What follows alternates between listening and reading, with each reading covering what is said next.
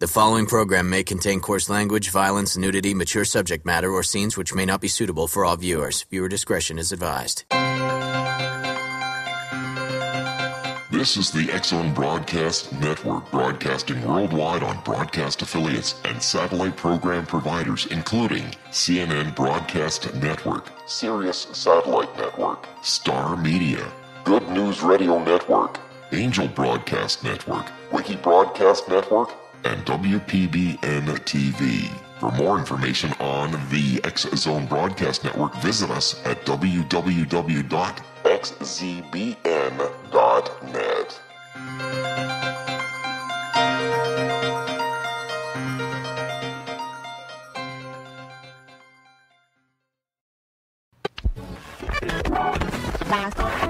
All Hit Radio.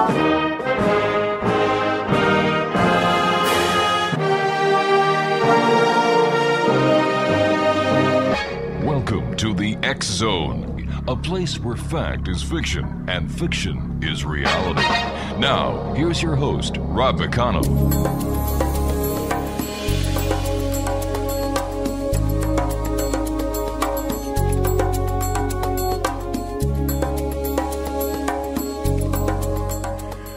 Welcome back to the Zone, everyone. My name is Rob McConnell. We're coming to you from our broadcast center in Hamilton, Ontario, Canada. Worldwide toll free 1 800 610 7035. Our email address xzone at xzoneradiotv.com. On all social media sites, Xzone Radio TV, and our main website that is going to be undergoing a drastic change, I am told, over the next couple of weeks at www.xzoneradiotv.com. My guest this hour is Lieutenant General retired William G. Jerry Boykin. He was one of the original members of the U.S. Army's Delta Force. He was privileged to ultimately command these elite warriors in combat operations. Later, the general commanded all the Army's Green Berets as well as the Special Warfare Center and School. In his 36 years in the Army, Lieutenant General Boykin also served with a tour with the Central Intelligence Agency.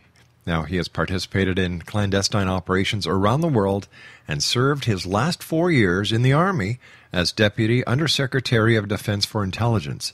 Today, he is an ordained minister with a passion for spreading the gospel of Jesus Christ and encouraging Christians to become warriors in king in God's kingdom.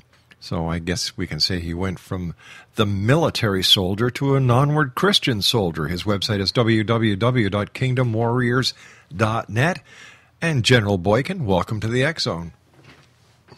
Well, thank you very much, Rob. It's a privilege to be with you. General, there's a lot going on in the Middle East. We have ISIS, who has beheaded a second journalist. We have Iran that is saying, hey, you know what? We're going to start, um, hmm, well, what are we going to do? Are we going to get involved? Are we going to get? Are we going to support? Uh, how are we going to fight ISIS? We have Israel, Yeah. smack dab in the middle, and and Israel is, is the is the birthplace of Christianity. Yeah, it certainly is, and and yes, are we going to get involved? We, the United States, uh, and I can't. We are involved uh, at this point. The problem is that our involvement has been somewhat feckless up to this point. There's there's no real strategy associated with it. It's it's been kind of a knee jerk reaction. Now, uh, can I point out, Rob, that uh, uh, it's important for listeners to understand that ISIS is not a new phenomenon, nor Right. are beheadings. ISIS has been around since, uh, really since the late 90s. Uh, it, it, it became much more popular and well known uh, in about uh, 2003, 2004, when it was known as uh, Al Qaeda in Iraq under the leadership of a guy named Abu Musab al Zarqawi, who was killed in 2006 in a drone strike. But we've been watching these people, and their methodology has been beheadings. They've beheaded uh, hundreds, if not thousands, of people. Uh, so there's nothing new here.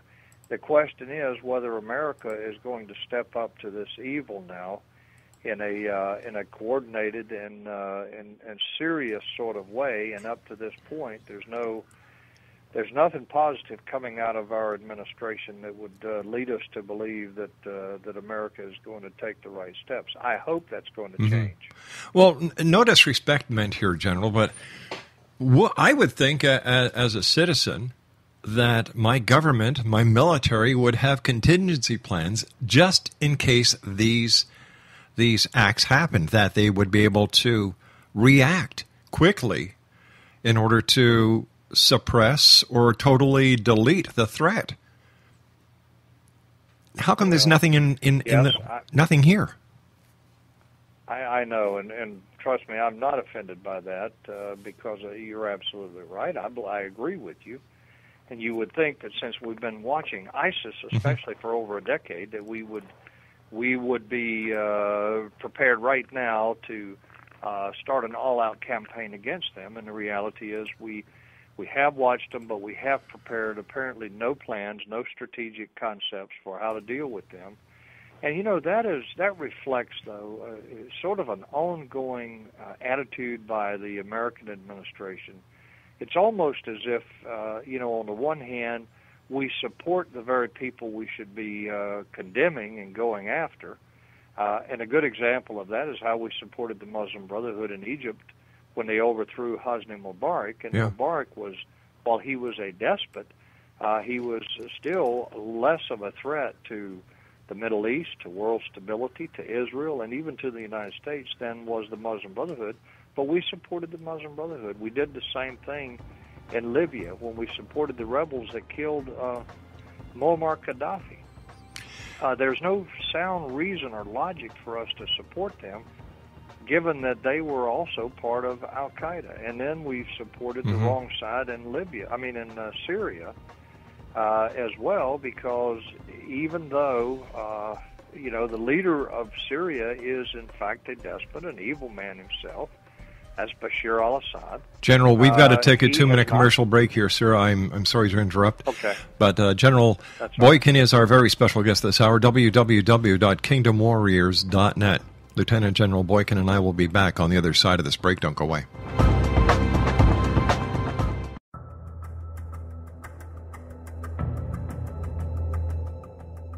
Modern Esoteric, Beyond Our Senses by Brad Olsen, consummates the lifology story about where humanity originates. It is the lost continents, the primitive wisdom, the mythos of creation, and the rethinking of ancient history as we are taught in academia. There is much more to the story than what we have been told. As this is the first book in the Esoteric series, Modern Esoteric starts at the beginning of time and accelerates up to this modern age. Future Esoteric is book two in the series and takes a forward looking position ahead of today with an open and honest examination of the ET issue and various unexplained phenomena.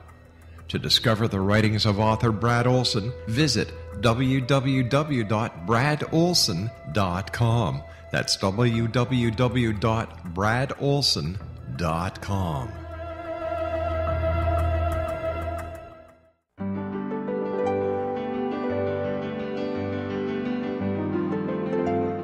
Named one of the world's greatest psychics, Elizabeth Joyce is now giving readings worldwide via Skype. Elizabeth Joyce is recognized for her clairvoyant ability to help find missing persons, her analysis of dreams, past life regression work, mediumship, and her accurate predictions. Elizabeth has been a frequent guest on the Zone radio show with yours truly, Rob McConnell, now for several years. For an appointment with Elizabeth Joyce, call 201 934 8986 or Skype at elizabeth.joyce.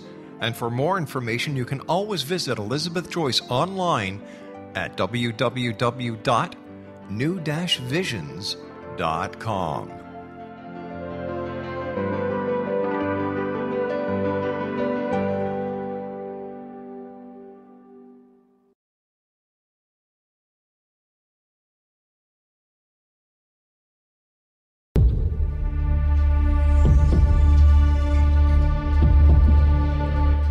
Exonation uh, Lieutenant General William G. Jerry Boykin, retired from the United States Army, is my special guest this hour. His website is www.kingdomwarriors.net.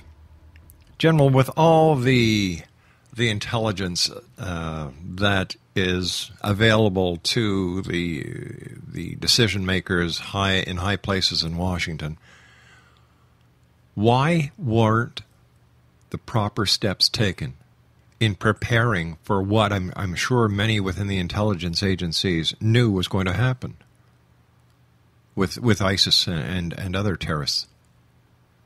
Well, I, I think that there's a tendency to just ignore the threat and think that it's going to go away, or just simply not believe that it uh, it could be a, a serious threat to American interest. Uh, the reality is we have a pattern of that, as I've said earlier. Yeah.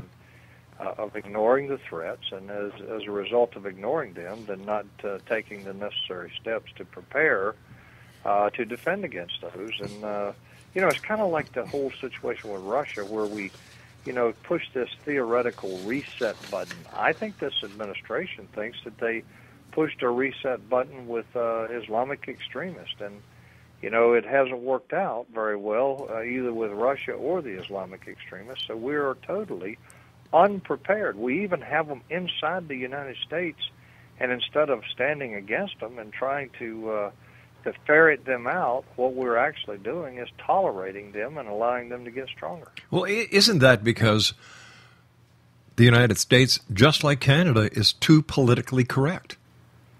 It is the bane of our existence, Rob. It is uh, in the uh, let me say this because I'm writing a book right now with. Uh, Dr. Stu Weber up in Portland, Oregon, and mm-hmm. um, and that's one of the things that I point out in the book that political correctness is is the result of a lack of moral courage.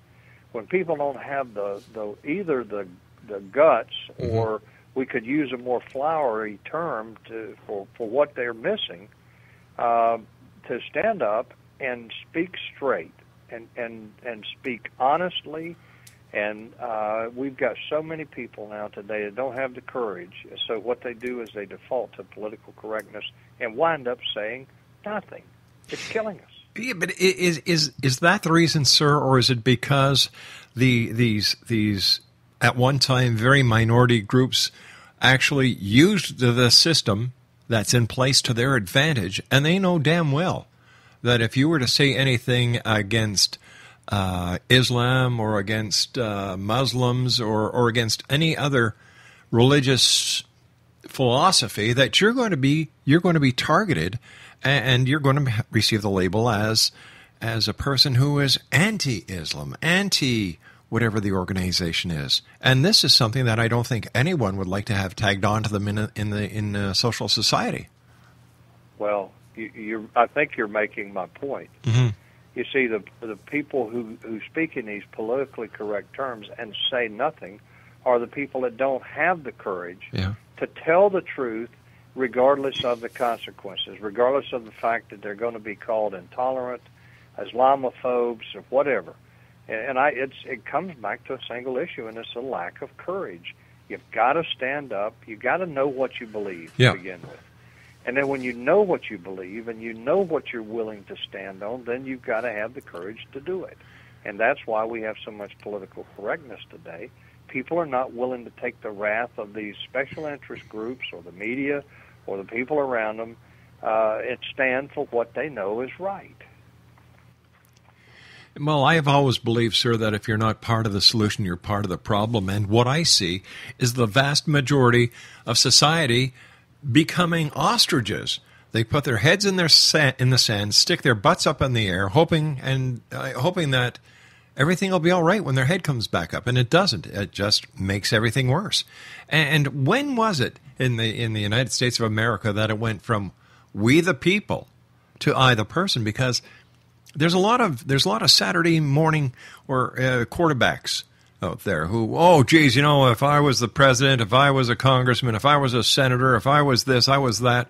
They all have a great game plan, but when when it comes to a time to uh, to put their mouth into action, boy, they sit down really fast. When did this all change in America? Because that's not the way America was founded. That's not the way early Americans were. No, you're absolutely right. You know, first of all, I think uh, Woodrow Wilson uh, was was part of this uh, shift, and then uh, you know in the 30s when mm-hmm. Franklin Delano Roosevelt came along with with his idea of a of a New Deal, um, we really began to see, I think, a major shift away from